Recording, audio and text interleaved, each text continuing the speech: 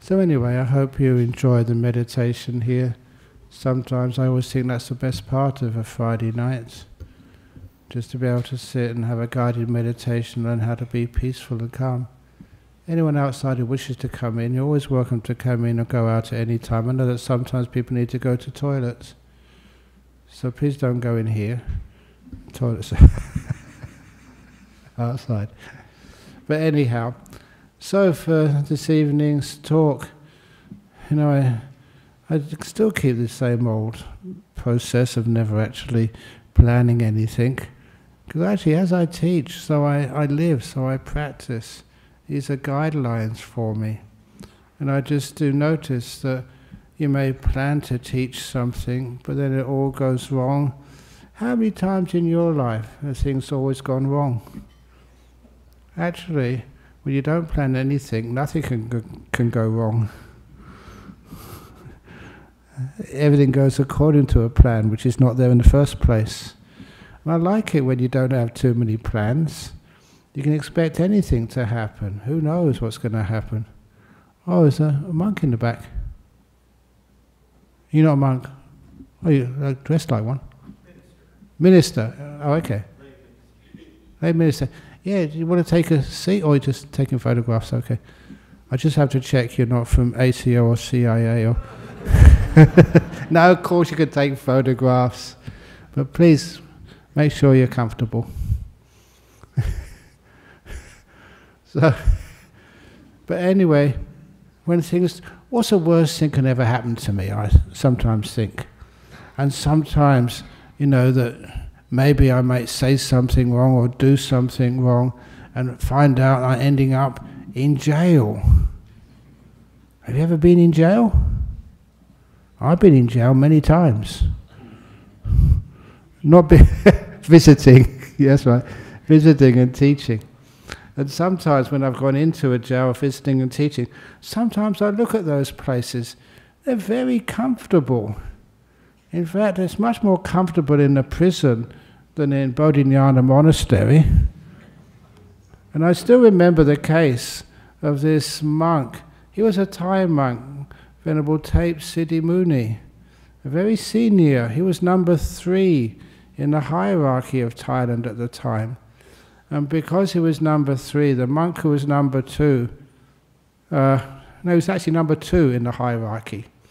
And the monk who was number three was jealous. He wanted to sort of eventually become the head monk of Thailand.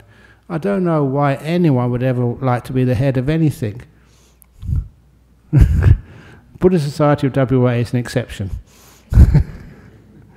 but anyway, that the number two monk was a good monk, number three monk was a little bit more dodgy.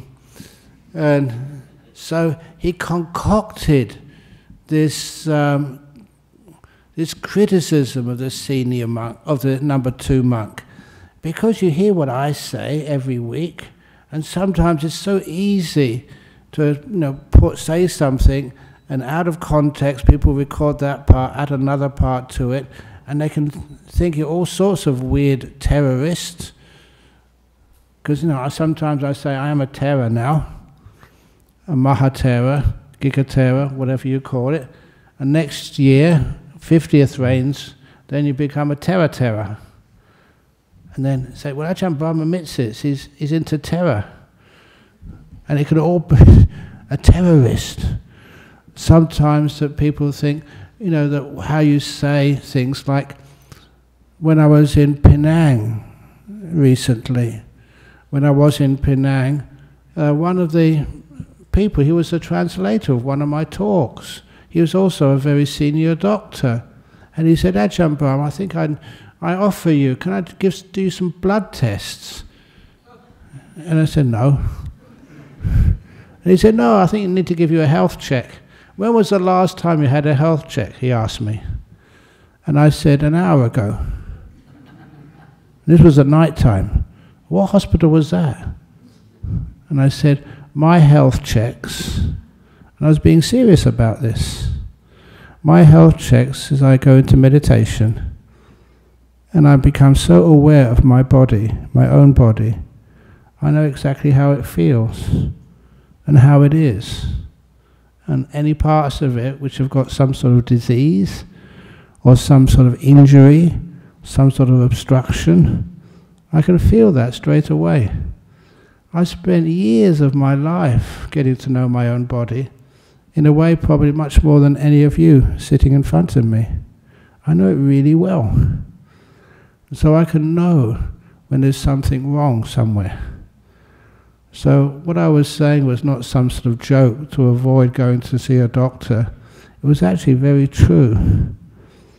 I said I last had a checkup the last time I was meditating, and everything felt really good. And it was a different way of talking. So sometimes I could maybe get sent to jail like that because you say, oh, Ajahn Brahm told us we don't know to go and see a doctor. And that's not what I'm meaning. I'm saying if you've got deep meditation and you know your body, then fair enough. But if you don't know your body as well as I know it, and something's happening, then please go see doctor. But nevertheless, what I was saying there, it can be misconstrued sometimes. You know, a lot of times, you know, even as a Buddhist, you know, I say it's so important to you know be friendly and to respect people from all types of religion. And you know those stories which I've told. You know, some of these stories I've told so many times that many of you may be forgetting them.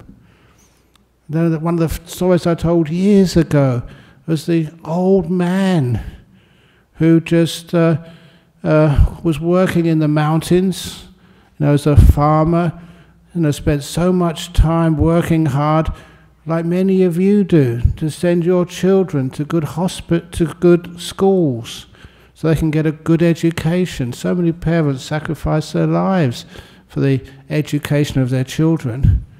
And the children did really well. And once they'd established themselves in the city, that's when they, they invited their father to come and visit a big city for the first time. So the father saw this huge city for the very first time in his life. And as he was walking through the city, that's when the father, this old man, heard this sound. It was such an awful noise. But still, the father said, I come here to learn what's going on in this city. So he followed the noise to its source. And there, in a little room of a house, he saw a young boy trying to play a violin. Have any of your children ever learnt the violin? When they first start playing it, oh crikey, you just want to get earplugs in your ears. But you still say, oh, very good son, carry on.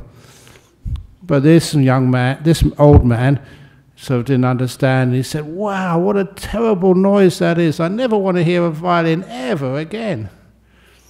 But of course, that afternoon, different part of the town, he heard this beautiful sound. It was so melodious and thrilling. He went to see its source and he found in another room of another house there was this old lady playing a violin. She was a maestro. She spent all her life learning how to play this instrument. And it was gorgeous what she was playing. And only then did the man realize, the old man realize, it wasn't the violin's fault. It was the person hadn't learned how to play it properly yet. And with the wisdom which simple people often have, he realized that's the same with religions or spirituality in this world. It's very easy to criticize Buddhists,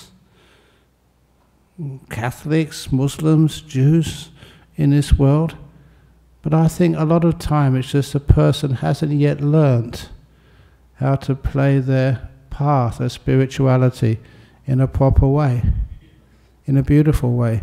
They're still learners, not maestros. One of the advantages I have of being a senior Buddhist monk is that you do meet people from other religions, other paths. When I do meet them, you have great conversations. And some of those people from these other paths you meet, and you really respect them. They've learnt a lot how to play their spirituality. And you feel very comfortable you know, hanging out with them, doing things with them. And one of those people is a dear old friend, unfortunately he's dead now, was the abbot of the uh, the Benedictine monastery over in New Norcia. He was a good mate.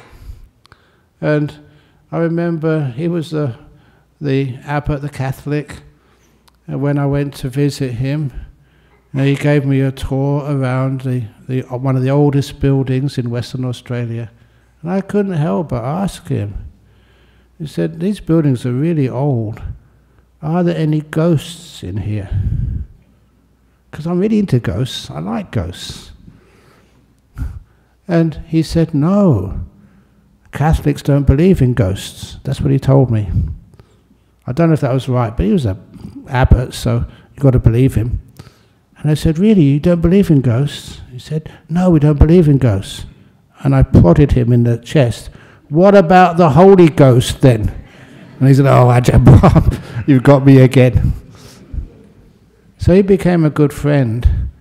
But one of the things he said to me, you know, this was, he was a Catholic, I was a Buddhist. We respected each other, even though I didn't always agree with him. He didn't always agree with me. And I said, he said to me once that one of his core beliefs, this is how he put it, is that everyone is searching for God. Now, please, watch your mind, don't react. I'm not being a weird Buddhist monk. I am a Buddhist. And, but then I respected what he said.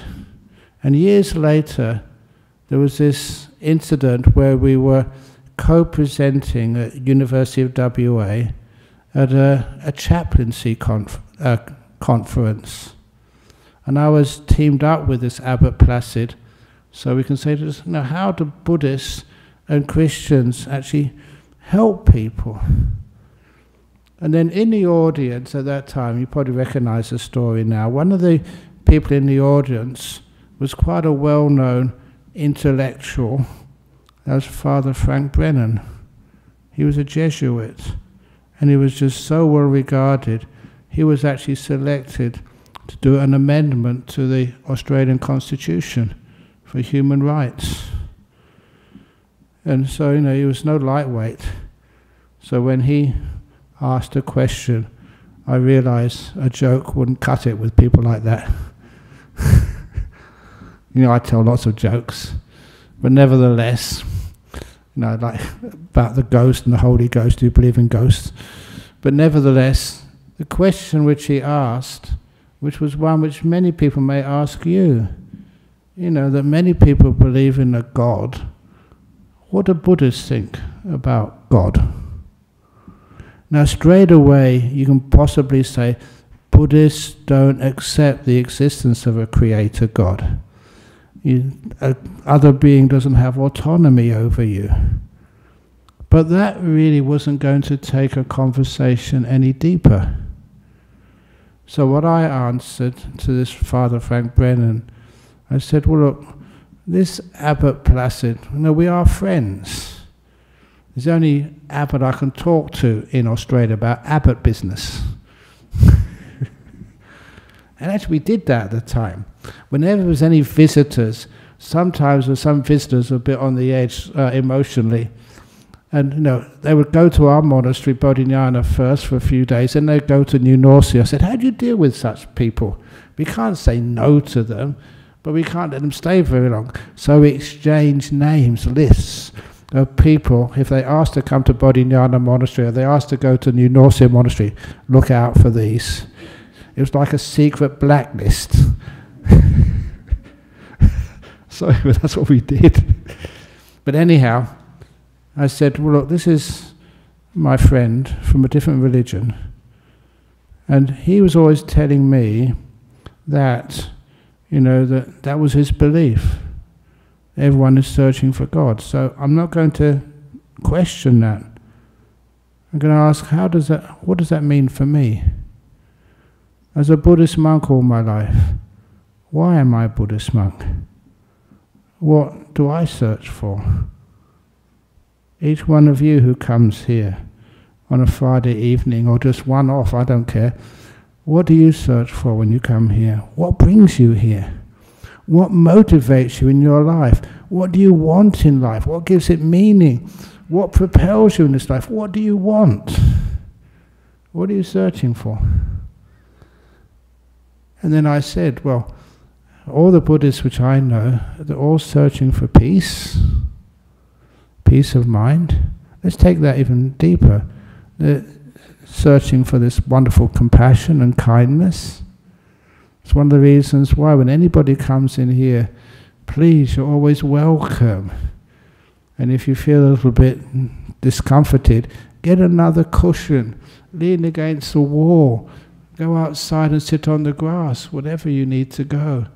And if you need to go to the toilet, go to the toilet. You won't miss anything. Everything is recorded.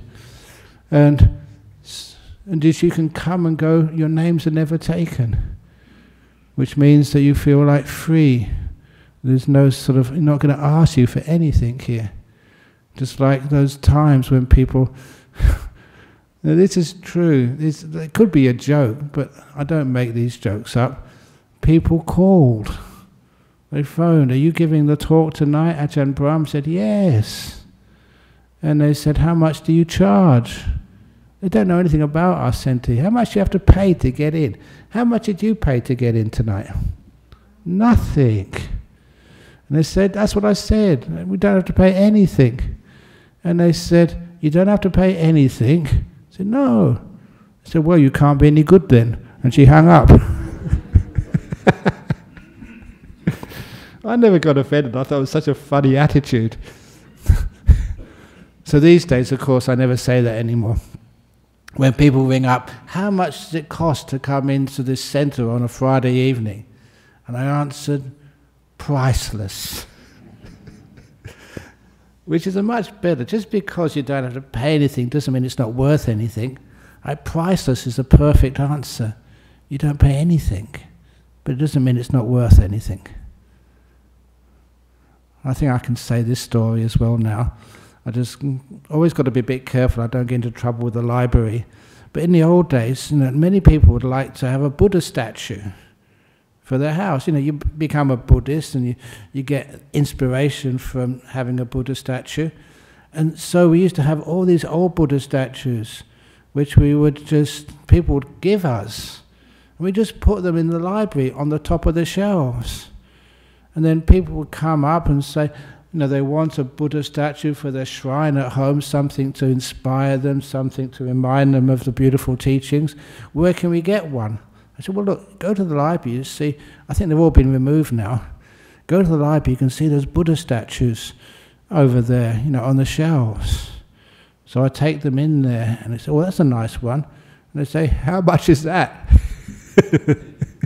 you know the answer, priceless. Yeah, but how much is it? It's priceless. But how much do I have to pay? You like it? It's yours. And that's a beautiful way of doing things, because those ones are given to us. Sometimes people have extra, or they're moving somewhere and they can't take it with them. They put it on top there, and it's given for free, no charge. But it's priceless. Don't think it's just to be thrown away. And that's kind of a beautiful way. It's, it's not the way that things are usually done in other shops, but it's a gorgeous way of doing things. It's generous, it's kind, but I just want to make sure that people take those Buddha statues because they really like them. How many of you like the Buddha statue behind me? If you can take it away with your own hands, you can have it. Which is impossible. Actually, it's not impossible. You know, that's some of the things I've seen in my life as a monk. When we started our monastery over in, I'm just going all over the place in these talks, which is my common practice. So, when we started this monastery over in northeast Thailand, of course, you need a Buddha statue. So one was offered and made, it was a big one, about you know the size of this behind me here. And it arrived at the station, which was maybe about six kilometers away from the monastery. How do we get it from the station to the monastery? Yes, of course, you could get a truck from town, but that's not the way it works over in uh, Buddhist northeast Thailand. The lay people were told in the village the statue has arrived. And then, about an hour later, I was told, I was only a young monk at the time, come out to the front of the monastery, have a look, see what's going on. All the villagers were all carrying by hand this enormous Buddha statue. Maybe we had about 20 men under the Buddha statue. When one got tired, another one would take their place. And they carried it all the way from the station, six kilometers over the paddy fields, over the road, to the monastery. And they were shouting and laughing and having a wonderful time. And you knew that Buddha statue would never fall because it was a lovable thing to do. They were doing this because this was their monastery. They wanted to see a Buddha statue actually come in there. It was a gorgeous thing to see. As an engineer, sort of, you know, you think that's impossible. If you had public health and safety, they would have they said, no, you can't do that. But they did it, and it was just a beautiful sort of act of kindness. But anyway, going back to uh, the question, what are you searching for in life? That's one of the things which you do search for. Instead of everything being so regulated, please excuse me, and so official, you have to do it this way, you can't do it that way, you must do it you know, according to this way. How does that feel in life? Sometimes that's so restrictive. And sometimes there's no real prevalence of kindness and love and beauty. Much of the things in our world, they don't seem to work according to science even.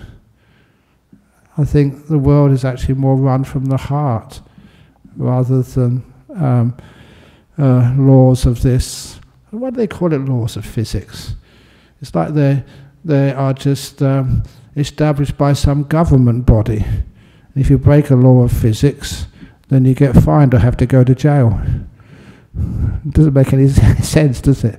But instead of like laws of physics or laws of science, that's why I love it when something happens which breaks those laws, which doesn't make any sense. But it's beautiful to see. And those are the times when you think just the human heart and mind, to see that win over this cold, hard laws is a beautiful thing to see. Now, even like laws of, um, even criminal laws. Someone was telling me that they were inspired by the story. I said, I think I read this in the West Australian. There was this one judge or magistrate up north somewhere in Western Australia, and they told that he had this young indigenous kid come into his court again and you know, said, you know, you've been up in front of me so many times before, and now you're in for some robbery or destruction or something. And he said, look, obviously, just any punishment is not working for you. So, I'm going to make a suggestion to you. I know this is not according to our legal system, but if you keep your nose clean for the next six months, I don't see you in front of my court for that time, then I will buy you a BMX bike out of my own money, said the judge. And this little kid was kind of gobsmacked by that. This judge actually meant it. And it was one of the first times he'd received some kindness. And he kept his nose clean. And after six months, the judge took him to the shop and bought him out of his own money, not out of court money, out of the judge's own money, bought him this beautiful bike. And that changed his kid's life. Instead of a sentence, he got this beautiful reward. And that was something which was not following the way of the law, following the way of the heart. I don't know if you've ever experienced things like that. I was just talking with the monks about uh, getting something for free. Have you ever got anything for free? I remember just, I was a school teacher before I became a monk. Once I decided to become a monk, I had some worldly possessions. One of those possessions I had, I had this beautiful dining table. It's like mahogany. It's quite expensive. I was just trying to build up, you know, my assets as a, a young teacher. And so I got this really high quality table. When I decided to become a monk, the people who were going to take over the schoolhouse which I was renting, then they came and had a look at it, said they liked it very much, and I said, This table is a beautiful table, I can't take it with me all the way to town. And what does a monk need with a dining table? We can't eat in the evening. so, anyway, they said, Yes, we like that table, it's beautiful. And they said, How much? And that was one of the beautiful times in my life I remember so clearly. I said, You like it? He says, Yeah, yeah, how much? I said, Nothing. It's yours. I remember them looking at each other. I said, This, this man's crazy. He's mad because no one gives you expensive stuff like that. And then I said, Look, I'm off to become a monk. I don't need a table, I don't need money.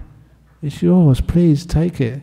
Now have a good start in your life. They were just a young couple, recently married, didn't have any kids yet, just starting off in life. And I had the opportunity, the means, to give them this beautiful piece of furniture. I said, all it cost me was nothing, but I got so much out of that. The joy of helping a couple of people I didn't know, you know start their life together. So that's the sort of thing which I search for in life that beautiful meaning, the joy, the doing things differently. Just give people other opportunities to have wonderful experiences. And when you do stuff like that, you know, the joy, the love, ability to love and be loved. Say, ah, Ajahn Brahm, what are you talking about? To love and be loved? You're single, you're celibate. You know, you've never had a partner in life. Yes, I have. Each one of you. I mean that you're my family. And hopefully you feel that when you come and talk to me, I do actually care about you. And one of the lovely things about that, I must admit, is I've been here almost 40 years now in Western Australia. Actually, over 40 years, 41 years now in Western Australia. And many of you I've known when you were so small. You know, that your parents brought you here when you were little kids. And I always allowed you to play in the gardens. I remember, okay, I'm telling old stories now. Like, old people do this all the time. I'm old. the, the first Wesak we celebrated here in Perth in Magnolia Street Temple. That was when was that? 1983 or 4 or something? But anyway, there's these kids, and they were in the bushes in the front of this little house, which was our Buddhist society then, Buddhist center there, under the bushes in the afternoon, eating biscuits. And they were supposed to be on eight precepts, I thought which was really unfair. There's only kids. And then they said, Ajahn Brahm, please don't tell our parents we're supposed to be on eight precepts. I said, no, come on. I'll get you some more biscuits. You must be hungry.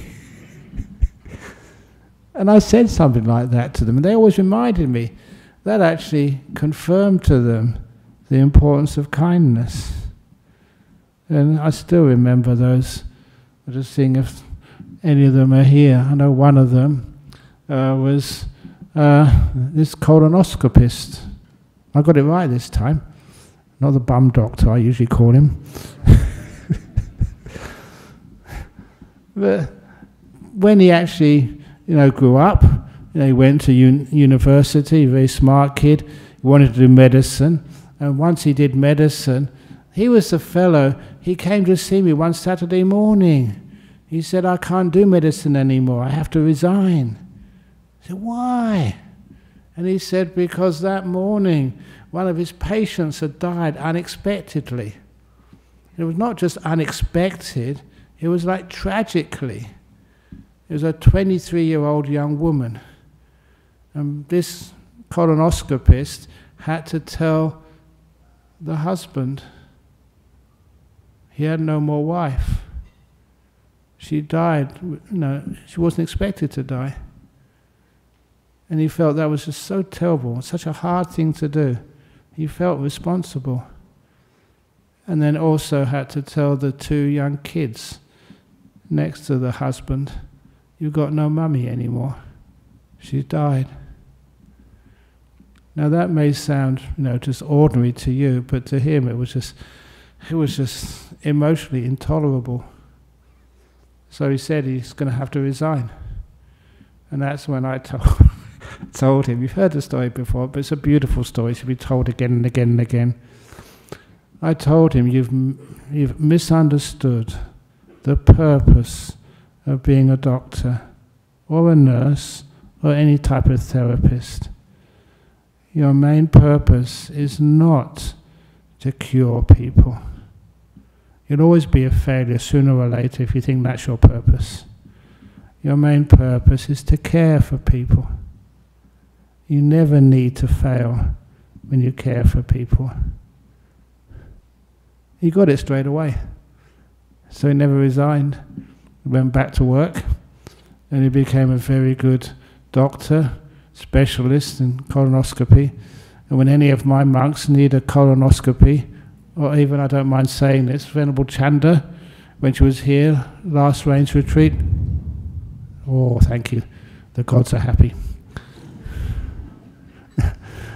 when she needed a colonoscopy, because she was um, at the end of her stay here, she had a ticket to go back to UK in a couple of weeks or three weeks, and just to get the public system. You know, you can't get that that fast. You know, there's always a waiting list. So you rang up. I shouldn't say this. My disciple colonoscopy. Yeah, we'll sort that one out. so she got a special colonoscopy to make sure that she was okay, wasn't any cancer there. And that's the sort of thing which people do, the gratitude they have. You help them, you know, big time, keep his career on track, and they help you back. It's a beautiful way of doing things. So, this is actually how uh, we understand about this caring and not curing. And that's a beautiful thing to have that type of wisdom. That's what we're searching for. You know, your partner in life, do you really care for them? I ask this seriously. Your partner, you may have lived with them for quite a long time. How many of you can say to them, or have said to them, know, partner, the door of my heart will always be open to you no matter what you ever do. To give what we call unconditional love. Have you ever received unconditional love from somebody? If you do, it's something so incredibly special. My father did that to me when I was 14 years of age.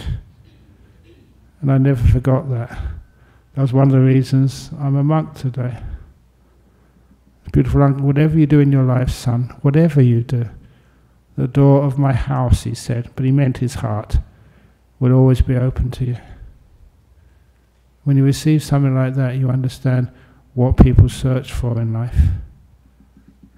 And when you can say that to yourself, you look at yourself in a mirror, and you say, Me, this person I've lived with all my life you know yourself better than even your partner does. Me, the door of my heart is open to me. I make many mistakes, but nevertheless, I will never feel angry at myself. I'll never get depressed at life. Because that kindness and that love which you give to yourself can overcome almost anything. And that's kind of what people are searching for in life. That is like truth, not as a theory, not as something written in a book, but something you feel in your heart that feels beautiful and inspiring. And the forgiveness. How many of you would love to be forgiven? Please forgive yourself. You're the only one who can do it. You look yourself in the mirror, all my faults, all my silly actions, all the terrible jokes which I've inflicted on you, not just once, but many times, sometimes on consecutive weeks. all those silly bad jokes. I ask your forgiveness. And of course, when you have the kindness there, that it's so easy to forgive and so beautiful to forgive. There was this one lady who used to come here years ago, and she had a cancer. She wanted me to teach her meditation, which I did, but the cancer was very advanced, and eventually she passed away. But before she passed away, here in the reception area, I was counseling her, and I asked her, What is the worst thing you've ever done in your life? And you know, she was maybe in her late 60s, 70s. She's a very sort of prim and proper lady. And she said, I can't tell you. I said, Look, I won't tell anybody else. I admit it, I lied, because I've told so many people I'm going to tell you now as well. I don't, I don't think she would mind. What's the worst thing you've ever done in your whole life? And eventually she just, okay, because she trusted me. I'd shown her some unconditional kindness so she could let me know. And she said, The worst thing I ever did in my whole life was I kissed another woman's husband. And I said, Is that all you've done? I d- I don't agree upon that. That's not a good thing to do, but that's, that's pretty good. 60 or 70 years of life, that's all you've ever done wrong. But what I noticed though, when she kept it to herself, it was her secret for so many years, it became so big for her. She was so ashamed of it. And all she needed to do was tell a monk, and it felt so much better. I put it in perspective. If that's the worst you've ever done in your whole life, that's, that's not that bad, is it? I'm not saying that as a Buddhist now you can kiss other people's husbands. That's not what I'm saying. but nevertheless, you can see that some of these advice can be misinterpreted, which is some of the reasons why that sometimes I think, well, if they really get misinterpreted and you sue me for some bad teachings or whatever, thank you. Because this is what happened to that monk. He spent two years in jail in Thailand, this senior monk. And he always quoted that as the best two years of his life. So going on a retreat for 10 days, what I did at the beginning of this year, that's pretty good. But two years of having nothing to do, no one can ask you any questions. You don't have to go and do a ceremony here. You're in jail. You can't go anywhere. You just read books, meditate, rest. And you still got good enough food. You actually probably got better food in jail than you get in monasteries. Maybe I don't know these days. But anyway, he said it was a wonderful time. And eventually he got exonerated. And, you know, he, he always thought that was a lucky thing be put in jail for two years. So can you please call the police and get me arrested? And I can have a real retreat for a couple of years? I don't know for what, but I'm sure you can make up something.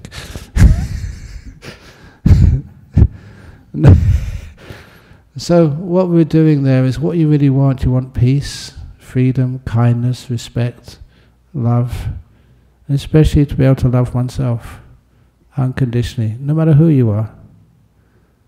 And that's one of the reasons why I love being a monk. Somehow or other, you know, honestly, I'm being honest with you, sometimes I still can't figure it out. You know, why people want me to go to their house for a dana, what they want me to go and to this place or that place.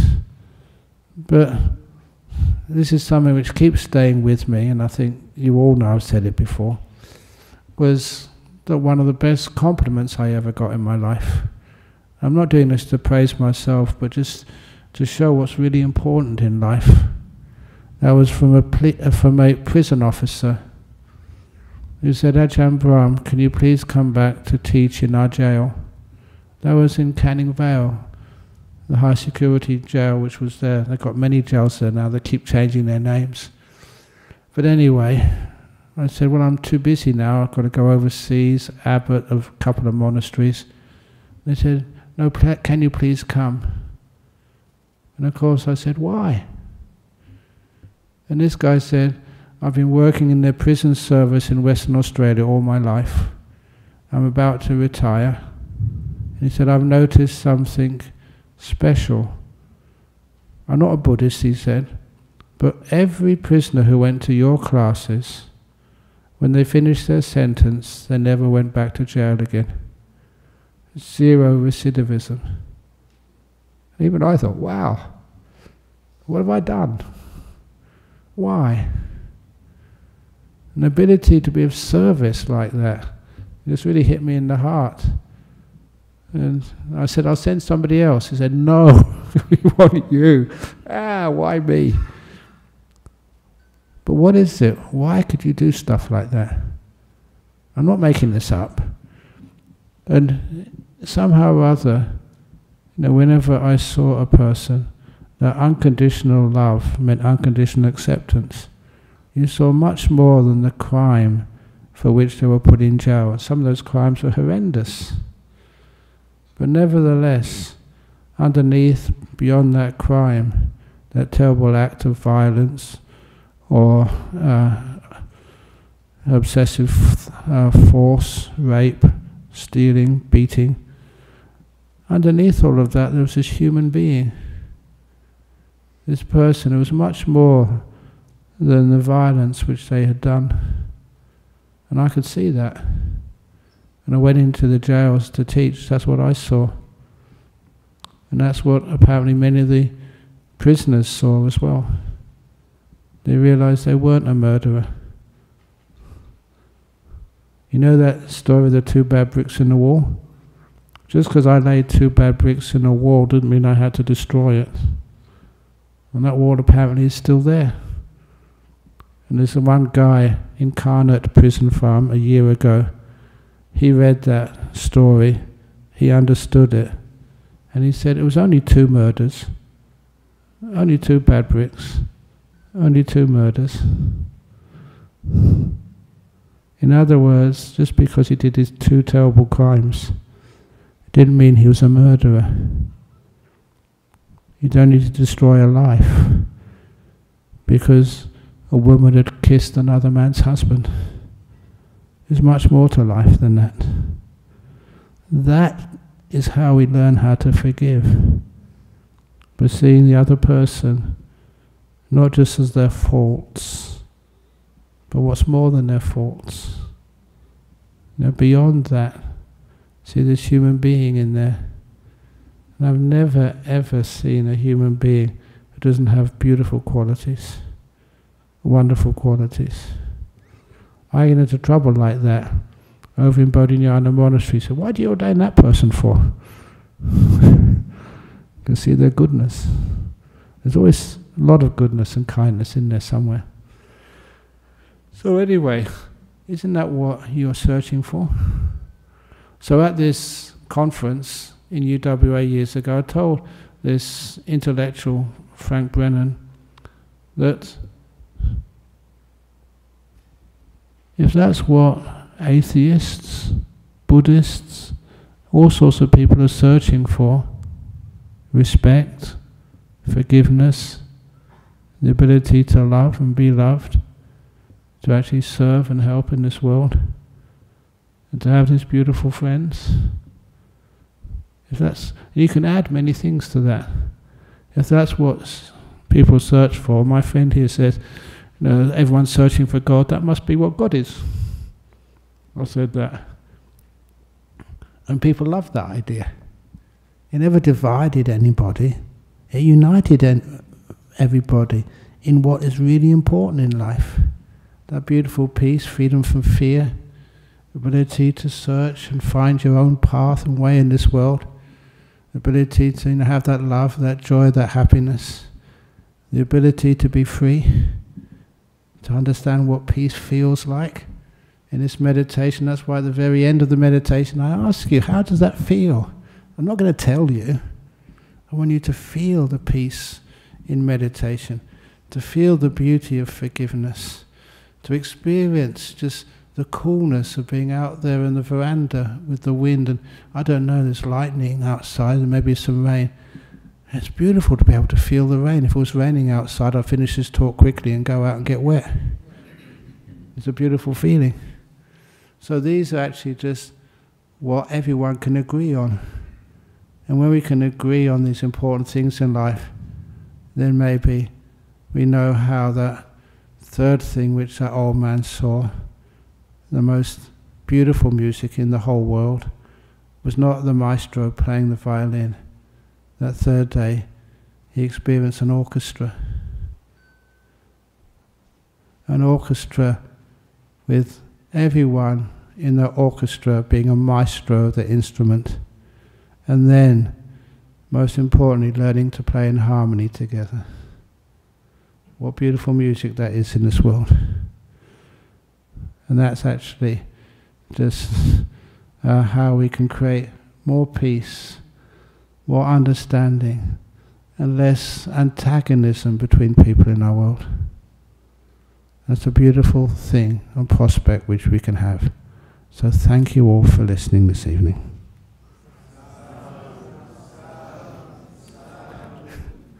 Excellent. So now we have the time for questions and maybe answers, I hope. But sometimes we have questions from overseas, but any questions from the floor here? Actually, the floor doesn't ask questions. I said that somewhere last week. People ask questions. Yes?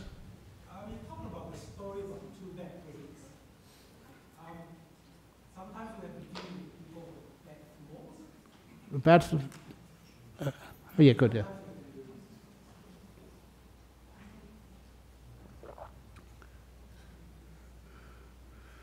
Deal with people who have bad microphones. That's us. Hey, can you shout your shout your question? bad floors, yes. What is your advice on a day-to-day basis? If you Oh, it's to see their good qualities. In other words, don't just focus on flaws, focus on the beautiful qualities they have. And once you start focusing on those beautiful qualities, those people can see those qualities themselves. And that's when those good qualities start to grow. I call it watering the, the, the flowers, not watering the weeds. If you focus on a person's bad qualities, and the person remembers, oh, they're hopeless, they're failures, they're no good, then they become no good people. We can focus on some of their good qualities. Look, this was the example of this when I was a school teacher. At the end of the year, I had to give out the report cards. And there was always, there's always going to be one kid who comes bottom of the class. Even if they were all Einstein level, then still one has to come bottom. So I gave this report card to this kid who came bottom. And this was not a group of Einsteins, an ordinary school in uh, west of England.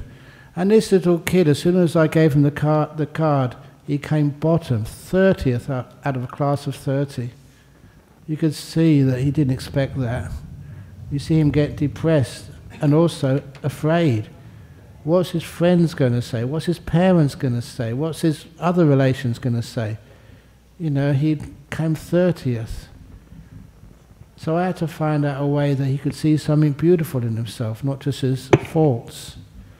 So that's when I told him, many of you know this story, I told him, look, there's something in Buddhism called the Bodhisattva. And a Bodhisattva, this is Mahayana Buddhism, is someone who sacrifices their own happiness so that their friends don't have to suffer. I said, that's you. I know you can do much better than this. I know you're much smarter than coming bottom of the class. So, you must have done this on purpose. So, your friends in the class will not have to suffer what you're going to get from your parents tonight. and he did what you're doing now. He laughed at me. He thought, this is a crazy teacher. But it took him out of his depression. And I just added at the end before I dismissed the class, but I said, you're only allowed to get to be a bodhisattva once in your life at school. Next year, let somebody else take that position. and that was just a way of him seeing another part of himself. Otherwise, if you think you're a failure, you become a failure. I've seen many people like that. I was really surprised because you know, I did educational psychology before being a, a school teacher. And I sometimes wondered, some of the monks who I taught and uh, cultivated over at Bodhinyana Monastery, I asked him, Did you go to university? He said, No, I never went to university. I said, Why not? They're incredibly bright kids. One of them, which you will know, that he's incredibly smart. He's a great builder. And you know, you know who he is, that Santuti over in Kusala Vihara. I asked him, why did you never go to university? He said, because it boiled down to his grandfather, the patriarch of the family, once looked at his report card, which you know, that day was not good. And he said, You're stupid. You're a disgrace to my family. You should work harder. And he believed that assessment from someone who never really knew him. He never really tried from that point on. He thought he was stupid and that's it. That's why he developed other skills to get on in life. A very, very funny and jolly monk. You've seen Ajahn Santut, he's given talks up here. He's a great monk. But he never went to university simply because he thought he couldn't. My goodness, he could. So that's one of the reasons why, if you believe what other people say about you and their bad things, you just give up. That's why I'll tell every one of you that you know you're a great person, you're a great doctor, you're a great um, cashier, you're a great uh, eye uh, spectacle cleaner, even though that's not your job. Whatever you do, you build a person up and they actually live up to that usually. Flattery gets you everywhere. Try it. Anyway, I hope that answers your question. There's some questions from overseas now. Thank you. My question is about addiction. What can one do to help a person who's trying to get out of addictive tendencies? Because some of those addictions are physical, and that's tough to be able to, to get out of those physical addictions. I remember this one gentleman once years ago, and I thought, oh, crikey, this was so sad. He wanted to get off his heroin addiction uh, at Bodhinyana Monastery. And at that time, there was not so many monks there, so we could actually accommodate him and he was just really wanted to. And so we allowed him to stay there at Bodhinyana Monastery. His wife would come and look after him every now and again. But then while he was there, he explained to me what it's like being addicted. He said a thousand times every day he has to say no. He just says what, yes once, and then he's back on the heroin addiction again. He said it's so hard to do A thousand times you have to say no. Once say yes, and it's all for nothing. And he was doing so well for about three or four weeks, and then he said yes. And so he's back on the habit again. That was one of the saddest things I've seen. But know one thing he did do, he got into a, a good meditation once, and I remember him coming running after me. And he said, Ajahn Brahm, I've heard you say many, many, many, many times the joy of meditation is better than, please excuse me, sex, orgasm. I can say that. and I've said that many times before. I wasn't always a monk. I had a girlfriend before I became a monk. I knew what I was giving up. But the joy of meditation is much better than that. and it lasts longer, it's more pleasant, more joyful.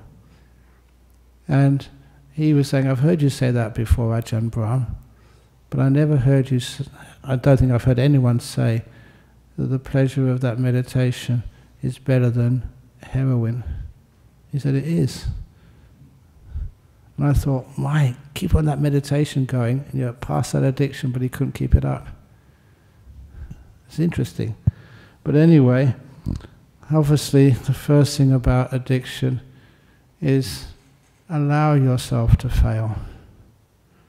Don't think that you said yes once, which means you can't do it. Try again, and again, and again, and again. It's worth it. The other thing is to make sure that you, you move away, if at all possible, from those sources of supply, the old friends the telephone numbers or places, you know, you can find some of these stuff which addicts you. But never ever feel bad about yourself. Because as soon as you get into negativity about yourself, say, I'm a hopeless person, it's like you don't want to try anymore. And that's one of the worst problems. Doesn't matter how many times you fail, keep trying again. You're not a bad person. Think the only bad people are the ones who supply those stuff. Anyway, when I want to do something like art, I just don't start it because I want to do things perfect. And the fear not to make it, make it holds me back. Can I use Buddhism to overcome that? Yes, of course you can. That's the, perf- the perfectionist syndrome.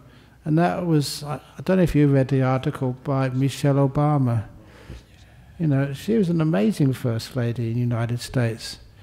But her perception of her conduct or her performance was always saying, I'm not really good enough to do this job. Everyone else thought she was great.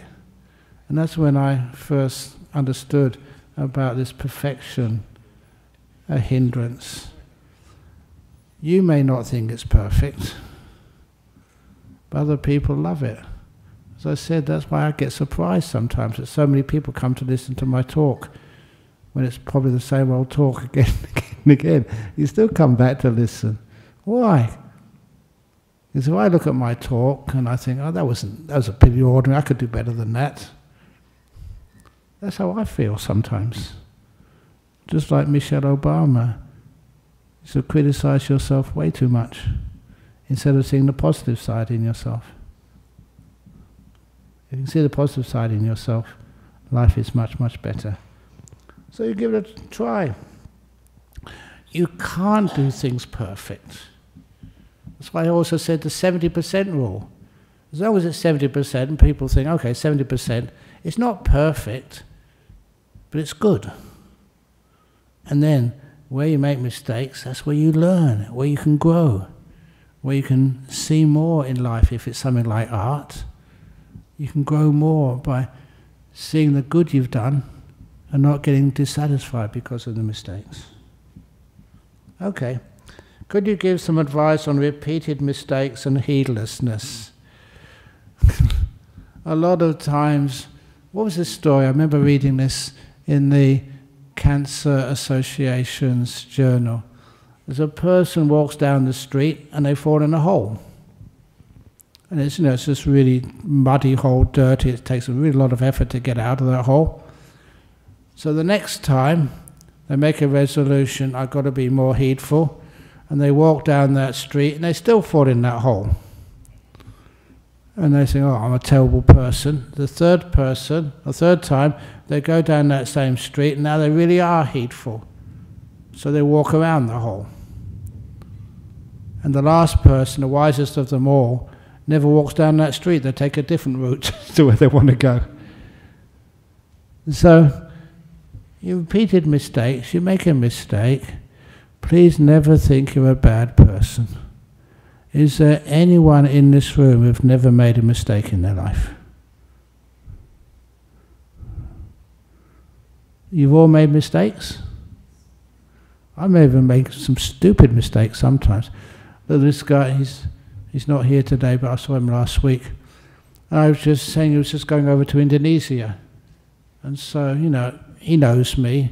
So I said, I've just heard this new marriage joke. And then his face just you know, went really, he didn't want to listen to me. He said, I'm going to Indonesia because I'm getting married. and I was going to say a marriage joke to him. so that ruined that relationship for a while. but I make mistakes, and sometimes that's, that's life making mistakes. And that's why I also said, is anyone here whose name is Jack? Any Jacks here? You're Jack over there? Oh, yeah. Please make sure that you never go on aircraft with a friend. They'll say, Hi, Jack. And then they ground the plane. That's another Ajahn Brahm bad joke. Anyway. Dear Ajahn, I feel that I'm lazy and not able to arouse energy practicing meditation or reading sutra at free time. Instead, I'm looking for distractions online. Appreciate your advice. Whenever you do meditate, at the very end of the meditation, please ask yourself, how is this? How does it feel? You know, when I did that as a young man, even what I thought were bad meditations were actually really much better than when I started. I always made some progress. Maybe not just brilliant lights and blissing out, but it was much more peaceful.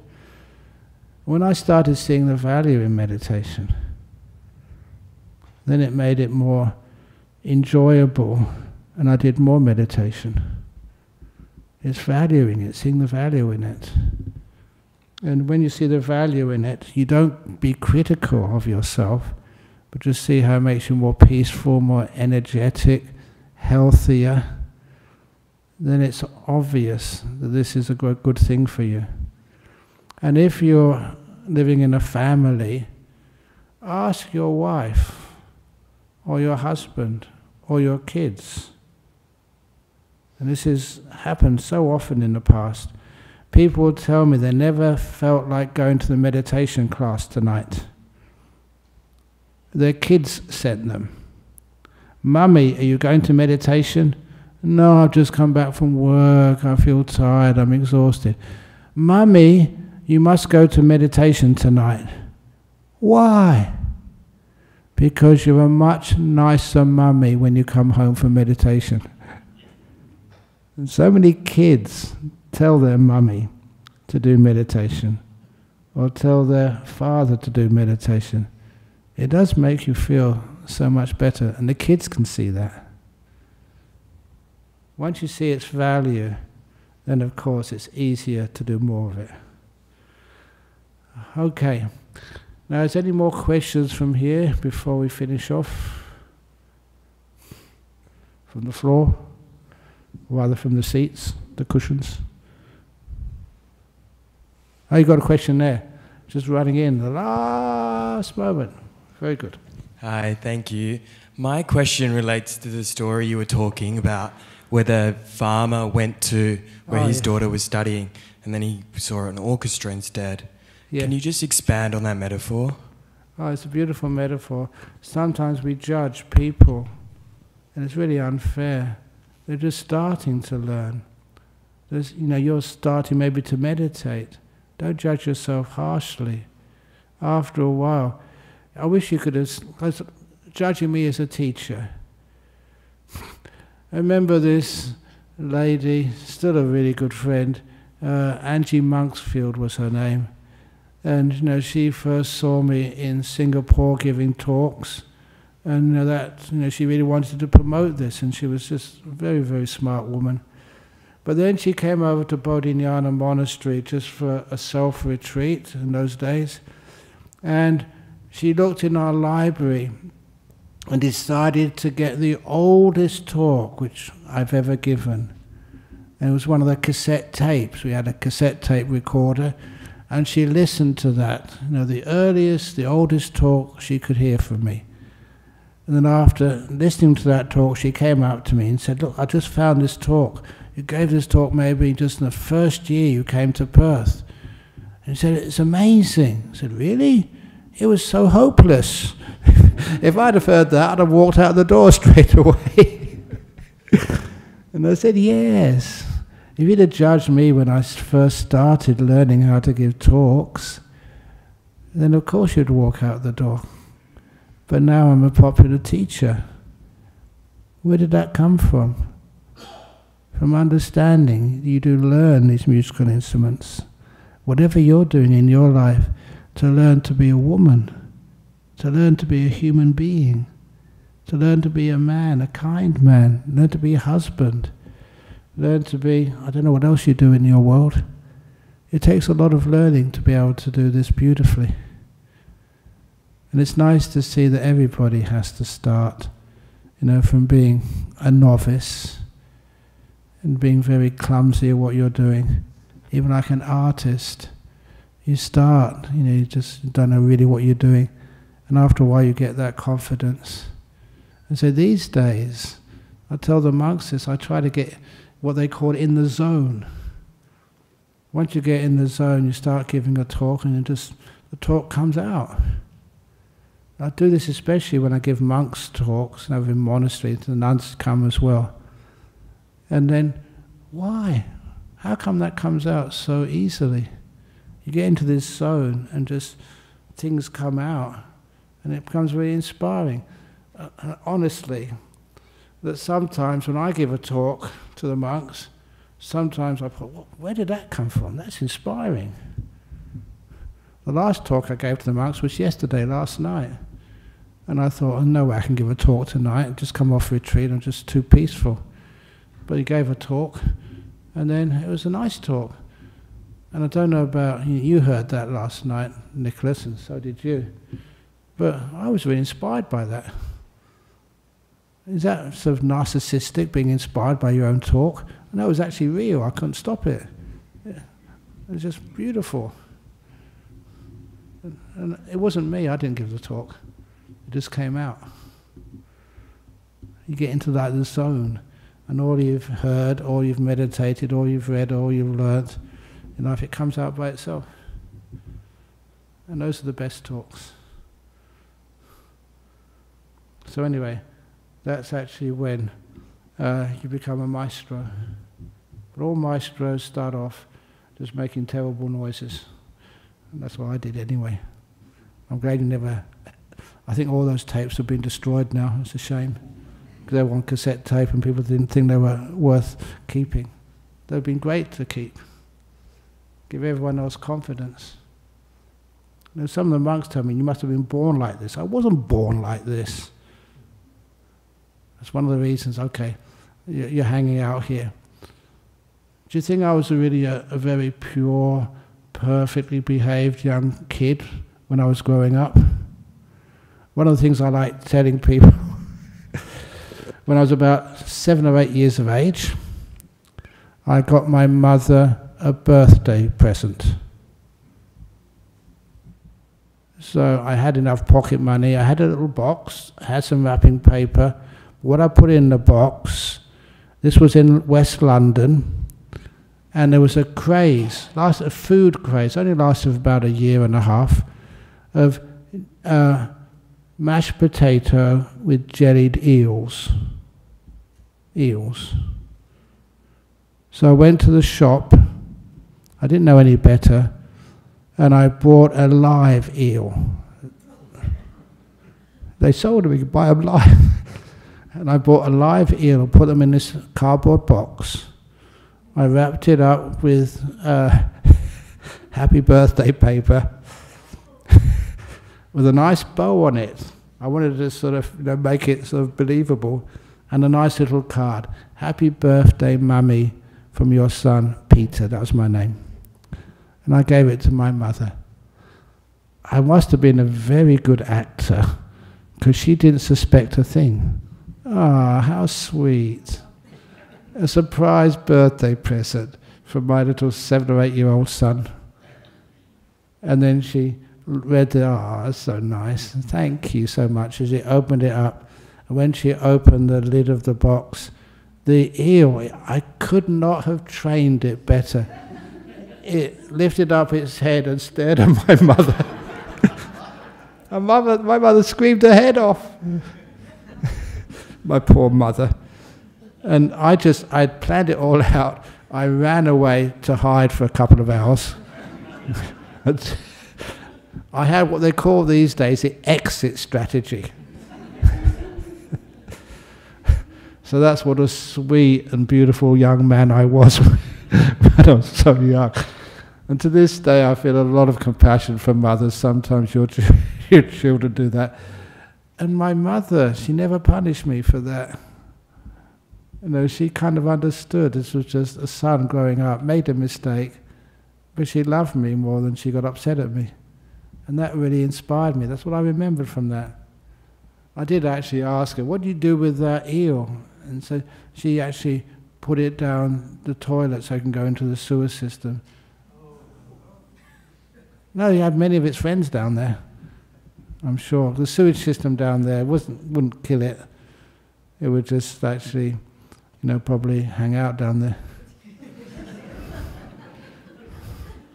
anyway, I was concerned, what have I done to my mother and the poor eel? It was funny at the time. But okay, so I wasn't born a monk. You actually grew into the role. And I like telling people about imperfections. It gives people like hope. With all your imperfections, I don't know what they are. But you know, you're really nice, beautiful people. So thank you for being here. And thank you for coming to our Buddhist Society of Western Australia again. And hopefully you come back many more times so we can enjoy each other's company. Thank you for coming. Okay. okay, I'm just going to bow to the Buddha Dhamma Sangha and then we can go back and see what we need to do tonight.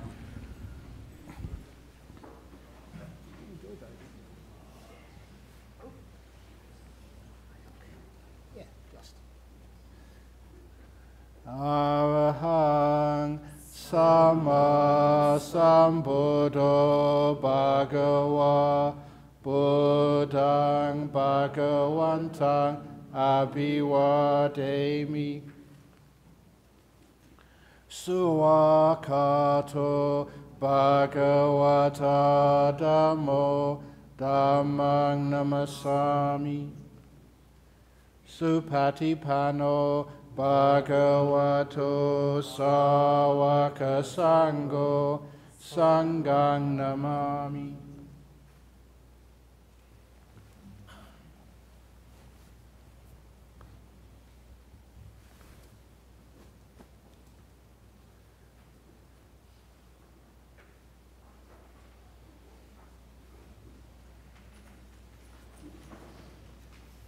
Hi.